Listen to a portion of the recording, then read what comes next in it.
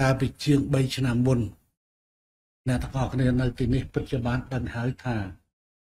កំពង់ផែក្រុងប្រសិទ្ធនុរបស់យើង បានធ្វើកិច្ចការដ៏សំខាន់មួយនោះគឺការសងគ្រោះនាវាវេសដាំដែលមានមនុស្សរាប់ពាន់នាក់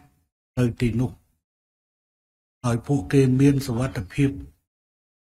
វិលត្រឡប់ ទៅកាន់ប្រទេសរៀងរៀងខ្លួនតែនេះជាកាយវិការមនុស្សធម៌មួយរបស់កម្ពុជាខ្ញុំបានលើថានៅខែធ្នូឆ្នាំនេះនាវាវេស្ដាំនឹងវិលត្រឡប់មកកាន់កម្ពុជា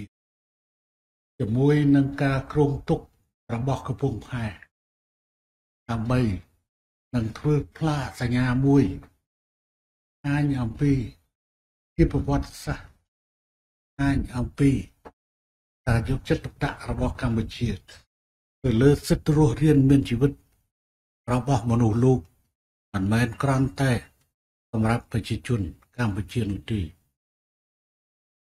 សូមអរគុណជាមួយនឹងការខិតខំទាំងឡាយនៅពេលនោះរបស់កម្មករកម្មការីនិងថ្នាក់ដឹកនាំនៃកំពង់ផែ ដែលបានធ្វើកិច្ចការដ៏ល្អក្នុងឋានៈជាម្ចាស់ផ្ទះដែលឲ្យតែមានការភ័យខ្លាចនៃប្រទេសនានាមិនហ៊ានឲ្យនាវានេះចូលក៏ប៉ុន្តែកម្ពុជា បានធ្វើកិច្ចការដ៏ល្អហើយអ្នកទាំងនោះខ្ញុំសង្ឃឹមថាអ្នកទាំងនោះ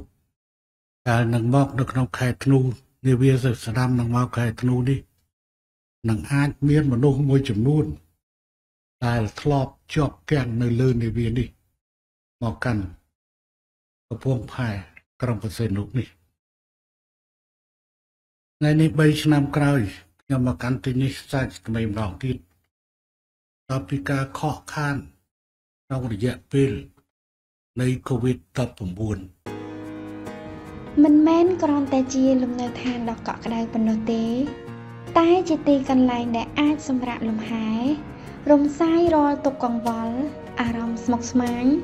បន្ទាប់ពីការនឿយហត់ពេញមួយថ្ងៃ គឺជាទីឋានពោពេញដោយសេចក្តីសុខសុភមង្គលជានិរន្តរ៍